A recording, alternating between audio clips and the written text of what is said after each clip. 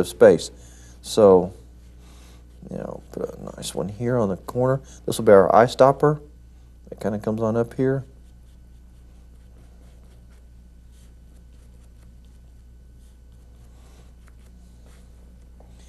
Now, if the paint's nice and creamy, now remember in acrylic painting, unlike oil, they evaporate um, when the moisture, you know, just leaves. That's what makes them get stiffer. So you've always got to be adding a little water. The secret to it is to keep your paints at the consistency of very soft butter, just real creamy. And if you can do that, you'll have a lot better luck. So I've noticed that a lot of times as I'm teaching, a lot of you will mix your mixtures here and you just keep working out of them and they get real gooey or real dry and you, you get real frustrated. But I've noticed just because you're not adding a little water and keeping them creamy. Oh yeah, it's a little bit of a, a housekeeping chore, but you just have to do it. Um, so don't be afraid to keep a little moisture in here. Keep mixing it in, and you'll be in good shape. Okay, now I want these to be taller on this side, but over here, as we get towards the middle, I'm going to make those a lot shorter. A little taller there. There we go. Because I want to see a little bit of that snow coming through. That's more for depth purposes, not necessarily a compositional issue as it is just adds a little, see it separates the background, even if it's just little bits of snow coming through. See how it just, just enough to bring you forward. Now there's a method in all this madness, you guys. It's just all there is to it.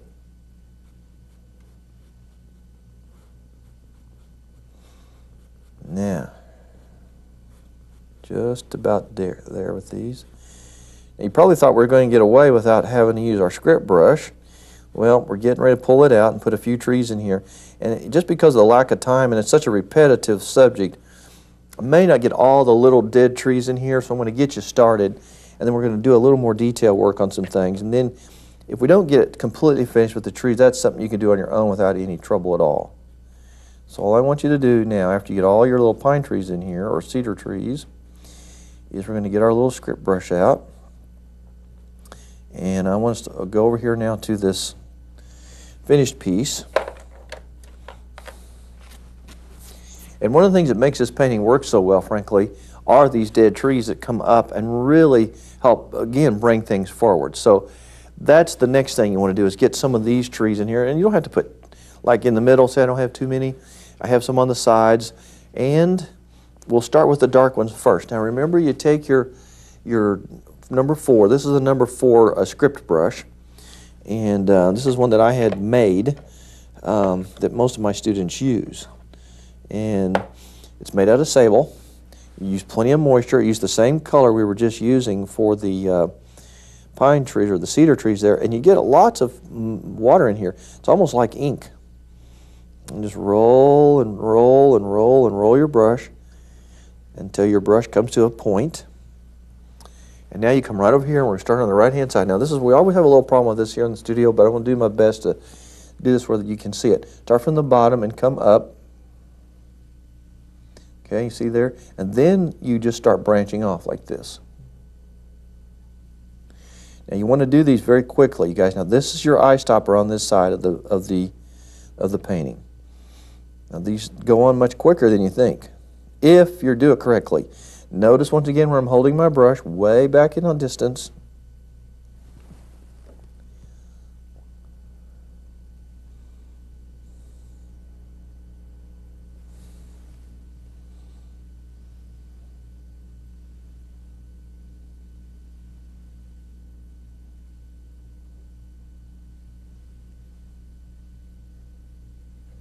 See, I'm just barely touching the surface of the canvas with this.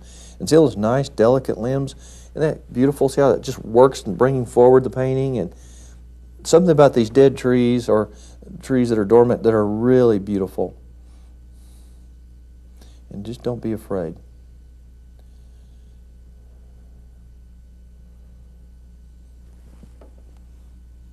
Now we're going.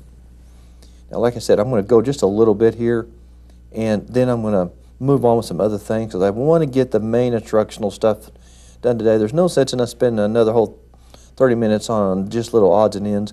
So you can put these trees all the way across So that's going to be a homework assignment for you.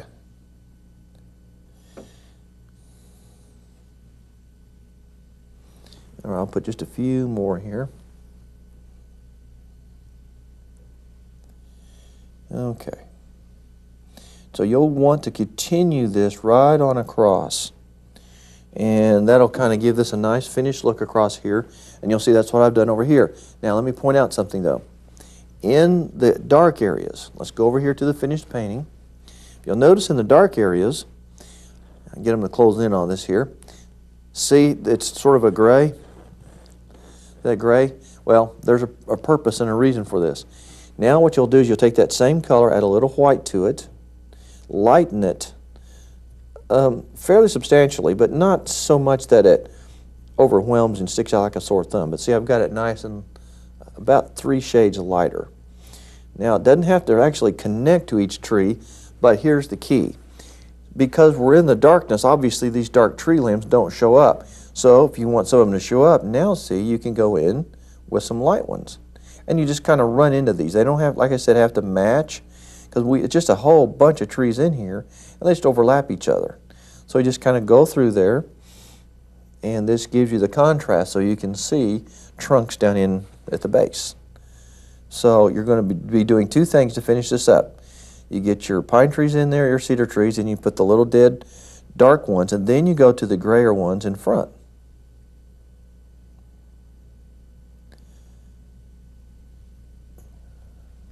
And you do the same thing all the way across until you get that completed. So you have the dark ones, then the gray ones, and that's how you bring this on forward. Now the next thing we want to do here, which I think is something that I want all of you to think about, is we need to pop in, this is what we call accent highlighting. See the real bright spots in the painting? I mean, there's some really, and also some little shadows from the snow. See the bluish gray snow in here that you see, that's in the shadow. Well, we're going to do a little of that first. I'm going to keep my eye on our time here. And let's see. There we go. Now I'm going to use my number four flat sable. That's, get up here maybe where you can see it a little better against the canvas. Okay, see it's a little flat right there? It's not round, just kind of worn off a little bit, but it's kind of kind of round. Then you're going to mix a little bit of blue and white and a little purple to create sort of a what we call the, the reflective highlight color or the snow kind of do it right here. I know some of you are probably wondering, I had, didn't mention it in the beginning of the show here two or three weeks ago, but um, I have a clean palette. And the reason is because I, this particular palette needed to be a little cleaner for this painting. So I didn't mean to shock anybody when you saw this, but getting dirty now, so that's working good. Now take this bluish purple, and you come in here wherever you might have snow. See, this will be the shadowed side of the snow. It's always going to have this sort of a bluish, grayish purple. And this is how you smush this in and you create that. Look, see how cool that looks? That is a great thing to remember. Anywhere you can throw in a little bit of this, I mean, it can be anywhere where there's going to be a little snow in the shadowed areas of, the, of your painting. It could be down in through here.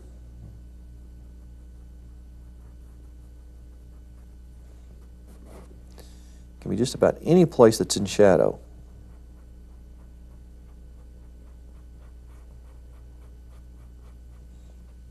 up here on this one, of course.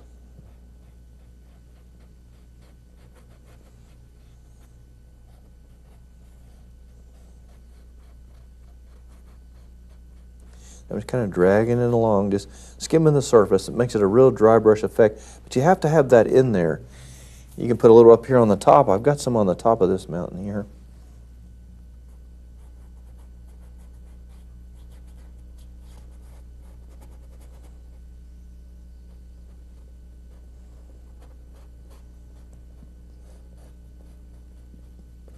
So I just kind of scumble it through here. Adds a nice touch to it. Kind of cleans it up a little bit. Yeah, like that. Okay, now we get down to the final things.